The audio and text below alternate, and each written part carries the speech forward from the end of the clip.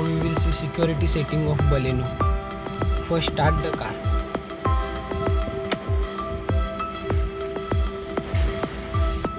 Now press this side, right side of trigger or joystick and enter press it for 3 seconds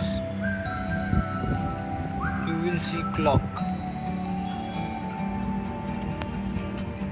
now turn it to the right side it will change to door. Again turn it light and then security. Turn three times and then press it. You will see the S1 level. There is no security in S1 level. It is the default level. Now turn the once turn it once again.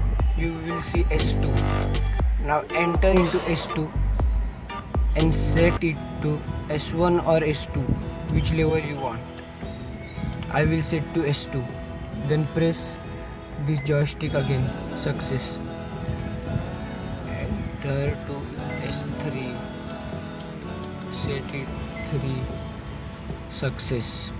Now we have activated the second level of security. And this is fourth level. Fourth level is not needed. If you want you can set it. Then just go to back and end it. Now we will see the demonstration